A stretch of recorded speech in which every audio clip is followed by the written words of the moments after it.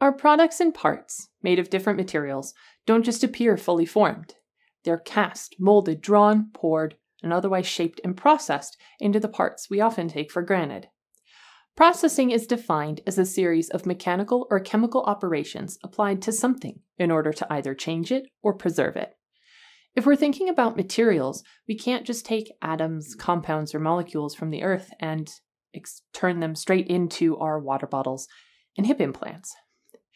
Like the definition says, there's a series of steps involved in getting from our raw materials to our final products.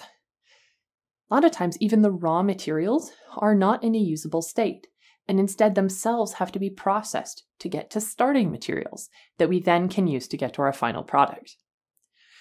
To think about this, let's take a sweet example chocolate. Chocolate is a sweet treat enjoyed around the world, with Switzerland taking the top spot with the most chocolate consumed per capita. Now, chocolate starts as the cacao pod. How do we get from this to this? Well, first we have to process our cacao pod. We roast it, dry it, grind it, and press it in order to get the starting compounds for our chocolate bar cocoa butter and cocoa solids. But this still isn't our chocolate bar. These are our starting materials. We then mix these with other ingredients like sugar in various ratios depending on if we're making white, milk, or dark chocolate. White chocolate does not have any cocoa solids, only cocoa butter, hence its color. But sadly, you can't just mix your ingredients together, melt, pour, and poof, you get a chocolate bar. Chocolate is what's known as a polymorph, meaning there are multiple crystalline forms that can occur. If I'm thinking about my chocolate, I would like it to melt in my mouth, but not on my hands. Therefore, I want something with a very specific melting temperature. Our hands are generally cooler than body temperature, so I would like my chocolate to have a crystalline form that melts at just above body temperature. For us, this means crystal form 5. In order to make crystal form 5, I need to be very careful while processing my chocolate, paying close attention to time and temperature, and control it carefully in order to get that form. This process is called tempering. Maybe you've heard of it, or even tried it yourself. It can be quite difficult to master.